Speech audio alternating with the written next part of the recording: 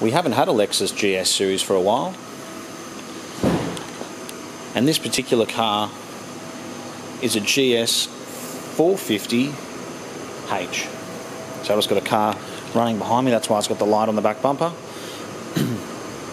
it's got a full Lexus service history from new. With the last service, which was 150,000 kilometre service, already being done at Newcastle Lexus. The car's done 145,000 kilometres, and I was pretty happy when I saw it had been to Newcastle Lexus. So it probably means this car's done a bit of country driving.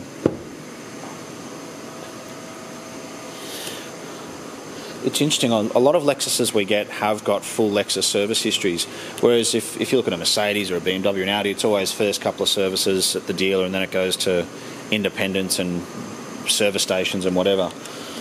I think it's because Lexus owners are quite fussy. Well, not only that, because I've had Lexuses myself. Lexuses are actually pretty inexpensive to service at the dealer.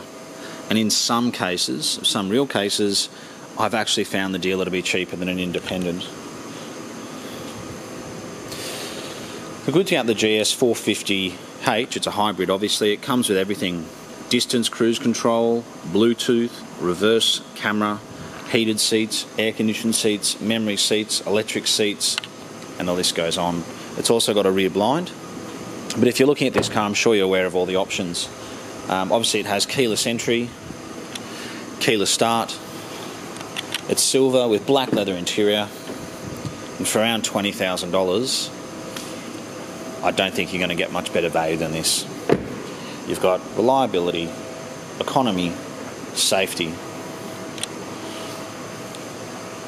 Again, if you're looking at a Lexus, it's probably because you've owned one before or you own one currently. You know how reliable it is and comfortable, and that's why you're looking at another one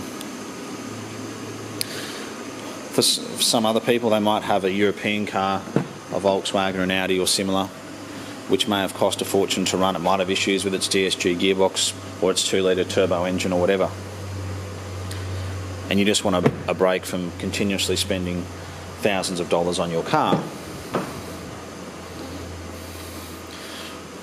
Whatever it might be, I think these are. I really think these are great. some of the Lexuses I've had, I've sold. How many? Have I? I've had two actually, which I've sold over the years. With uh, one had about 439,000 kilometres, and the other had 370 or 80,000 kilometres.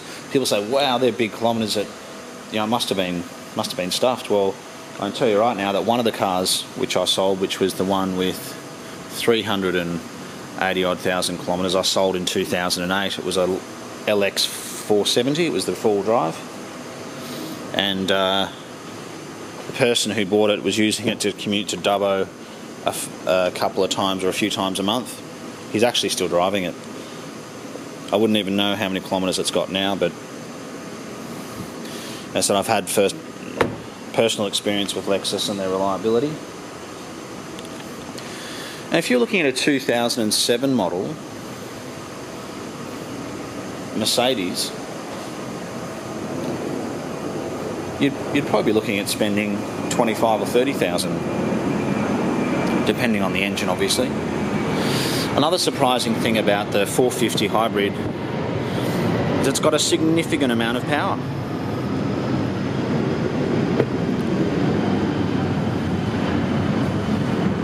I'm not sure what the, the figures are 0 to 100. I haven't looked but I've driven them and I've driven this one and it feels like it's probably gets to 100 in under 7 seconds, yet you get a, a very good fuel consumption.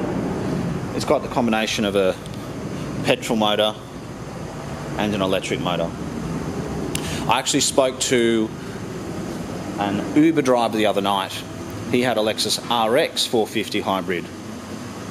And I said, What's this car like? He said it's been absolutely reliable. He services it every year and he said that it costs about $600 a year to service, but he's doing a lot of kilometres. And he said he's basically just going to keep it until the new model comes out.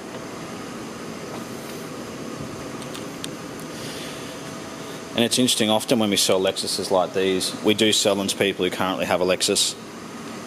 Some people bought an LS400 in the 1990s and were so impressed that they've continually bought Lexuses after that.